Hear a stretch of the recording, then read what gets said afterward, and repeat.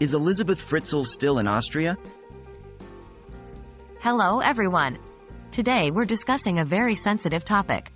We'll be answering the question Is Elisabeth Fritzl still in Austria? Elisabeth Fritzl, as many of you may know, is a survivor of one of the most shocking crimes in history. Let's dive in to find out where she is now. Who is Elisabeth Fritzl? Elisabeth Fritzl is a survivor of a shocking case of imprisonment and abuse by her own father, Josef Fritzl, in Austria. In 1984, Josef Fritzl lured his then 18-year-old daughter into the basement of their family home, where he kept her captive for an incredible 24 years. During this time, Elisabeth gave birth to seven of her father's children, one of whom died shortly after birth.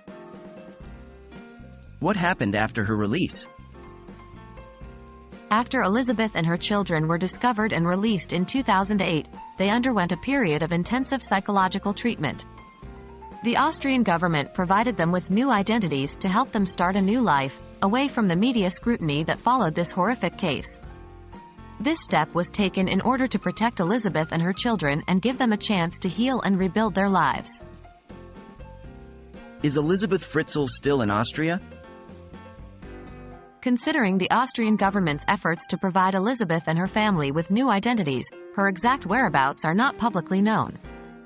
This is done to ensure their safety and privacy. However, as of my knowledge cut off in September 2021, there were reports that Elisabeth and her children were still living in Austria, albeit under different names. Please note that given the sensitivity and privacy around this issue, any newer information would not be publicly available or verifiable. Thank you for joining us in today's discussion about Elisabeth Fritzl. It's an undeniably sensitive and painful topic, but one that deserves respect and understanding. Our hearts go out to Elisabeth and her family. It's important to remember that their privacy is paramount, and we must respect it.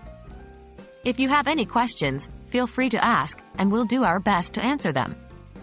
Stay informed, stay respectful, and until next time, goodbye.